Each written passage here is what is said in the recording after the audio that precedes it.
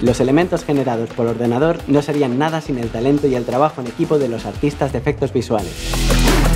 Hoy veremos los departamentos encargados de dar vida a los planos y de crear la imagen final que se verá en la gran pantalla. A veces parece magia, pero tiene sus secretos. Quédate hasta el final que en VFX Talent te lo contamos todo.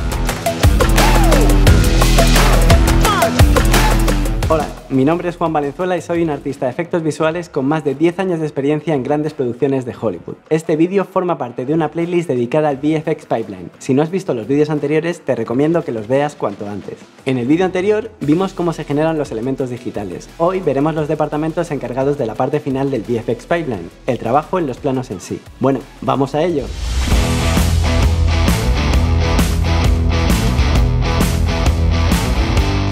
Lo primero que necesitamos para trabajar en el plano es trasladar la cámara real a un espacio en 3D. De esto se encarga el departamento de Match Move. Utilizando programas especiales de captura de movimiento o tracking, obtienen los movimientos de la cámara a través de la triangulación de puntos en el plano. Este paso es esencial para poder empezar a trabajar. Determinan la posición, el movimiento y la lente que utiliza la cámara en el mundo real y la trasladan al mundo digital. Una vez se obtiene la cámara, pueden también analizar el movimiento de objetos y personajes que sean necesarios para el plano, lo que se conoce como Object Tracking. Cuando la cámara 3D está resuelta, el departamento de Layout entra en acción. Layout se encarga de la composición general de los planos y de que haya continuidad entre ellos durante las secuencias. Sitúan dónde van a estar los personajes y vehículos y más o menos el movimiento que tendrán en el plano. También posicionan las cámaras obtenidas por MatchMove dentro del mundo virtual. Suelen trabajar con modelos 3D de menor resolución para poder realizar cambios y versiones más rápido. A veces se modifica la posición del plano original, se cambia la perspectiva del set o incluso se añade a un movimiento de vehículos dentro del plano, como en este plano de Guardianes de la Galaxia en el que yo mismo trabajé hace unos años. Si Layout anima la cámara, el departamento de animación da vida a los personajes. Criaturas, dobles digitales, vehículos u objetos, todo lo que se mueva pasa por el departamento de animación. Gracias a los controles proporcionados por el departamento de rigging, los animadores pueden mover los modelos de una manera más eficiente. Es muy importante tener en cuenta la composición del plano y que la animación quede bien respecto a la cámara. Muchas veces se trabaja con capturas de movimiento de cuerpo y cara de los actores. Esto ayuda muchísimo a los animadores, pero no les quita todo el trabajo se tienen que encargar de corregir errores y adaptar los movimientos de los actores a los personajes digitales. Para poder hacer animaciones más realistas es muy común el uso de referencias de vídeo. A veces se graban a sí mismos para luego trasladar la interpretación al personaje. La animación en efectos visuales es un poco diferente a la de películas de animación más cartoon tipo Disney o Pixar. Aquí prima el realismo y es muy importante la idea del peso para que no se pierda la credibilidad. Una vez se tiene la animación del personaje, se pasa al departamento de Creature Effects, o simulación de criaturas. La simulación es un tipo de animación producida por el ordenador, siguiendo parámetros físicos y realistas, que sería muy difícil y tedioso animar a mano. Por ejemplo, este departamento se encarga de animar la ropa, el pelo, los músculos y la piel de las criaturas. Básicamente se encargan de añadir capas de realismo a la animación principal.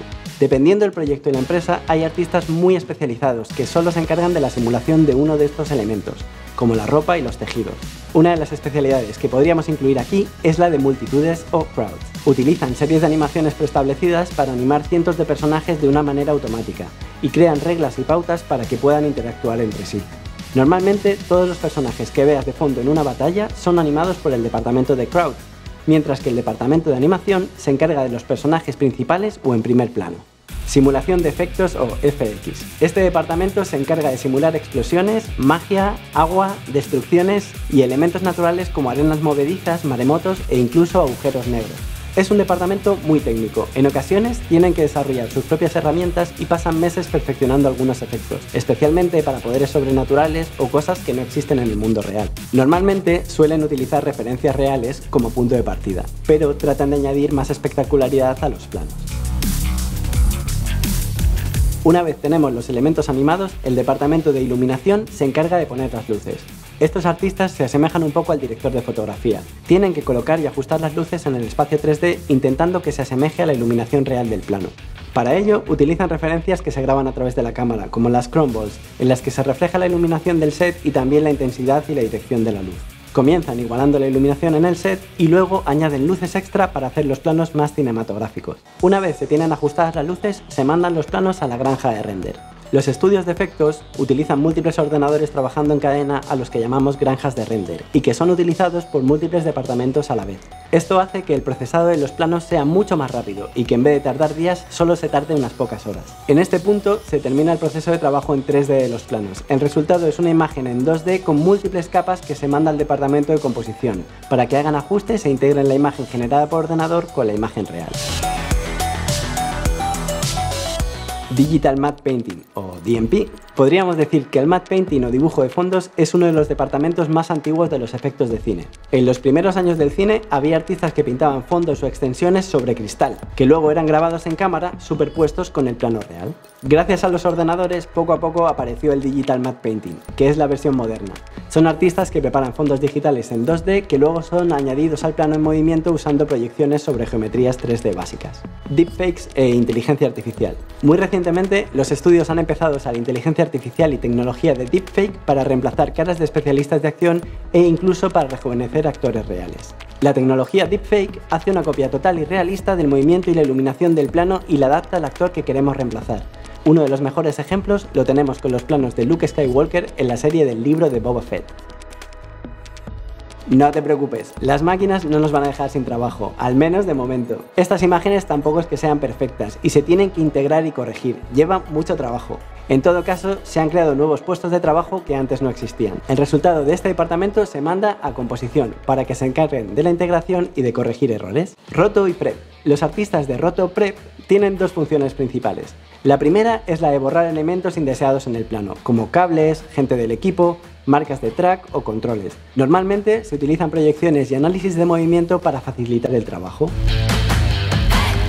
La otra función es la de rotoscopia, que consiste en generar máscaras en movimiento de los personajes o elementos en plano, lo que nos permite recortarlos y poner la imagen real encima de la imagen digital. Por último, llegamos al departamento de composición, que es mi departamento. En composición nos encargamos de poner juntos todos los elementos generados por los distintos departamentos junto con la imagen real. Ajustamos color, desenfoque, añadimos grano, modificamos luces, limpiamos el croma, corregimos errores y lo integramos todo intentando que las imágenes generadas por ordenador se vean lo más realistas posibles. Composición es muy importante porque permite hacer cambios muy rápidos en las imágenes digitales, sin necesidad de procesarlas de nuevo. Lo bonito de este departamento es que producimos la imagen final que se va a ver en la gran pantalla. Bueno, hasta aquí llega la introducción al VFX Pipeline. Espero que te haya gustado ver cómo se organiza la cadena de montaje de los efectos visuales. Como ves, es un trabajo en equipo increíble, con gente de distintas nacionalidades y culturas trabajando juntos. Me parece una de las profesiones más increíbles del mundo y estoy muy agradecido de poder trabajar con gente a la que admiro y en proyectos tan alucinantes. Como te he comentado en otros vídeos, ahora hay más demanda de artistas que nunca. Gracias a la aparición de nuevas plataformas digitales como Apple TV, Amazon Prime y Netflix, los estudios de efecto han crecido muchísimo y falta talento. Ojalá que estos vídeos te ayuden y te sirvan de inspiración para que tú también lo consigas algún día. Por eso te animo a que le des al like y te suscribas al canal. En futuros vídeos te voy a seguir explicando cómo trabajar en la industria, qué programas estudiar, te hablaré de salarios y te indicaré cuáles son las vías de acceso más rápidas. Si tienes alguna duda o quieres que profundice más en alguno de los departamentos de los que he hablado, por favor déjalo abajo en los comentarios. Muchas gracias por llegar hasta el final. Nos vemos en el próximo vídeo. ¡Hasta pronto!